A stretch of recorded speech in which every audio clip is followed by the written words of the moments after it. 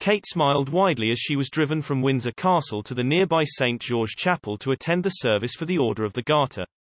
The Duchess of Cambridge shared the car with Sophie, Countess of Wessex, who also attended the service. For the poignant occasion, Kate donned a blue coat dress with a matching clutch bag and a hat featuring a floral detail.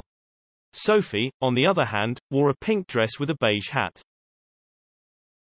The two royals attended the event as wives of Royal Knights of the Orders, Prince William and Prince Edward.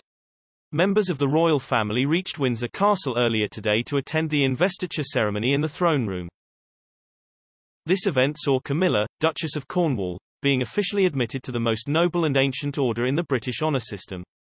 The ceremony was followed by a lunch at the castle, at which the royals in attendance, as well as the ladies and knights of the Order of the Garter, were invited. The Queen and Prince Andrew are also believed to have attended the investiture and the lunch. However, they did not take part in the procession to St. George Chapel. The Queen is believed to have pulled out of the event due to her episodic mobility issues. The Duke of York is understood to have missed the service following a family decision. A Buckingham Palace spokesman said, The Duke of York will attend the investiture and lunch today but will not be part of the procession or service.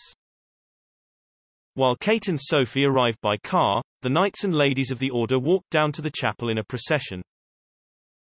The new lady and knight, Baroness Amos and former Prime Minister Tony Blair, were at the front of the procession, while Prince Charles and his wife, who for the first time today donned the velvet robes of the order, were at its end.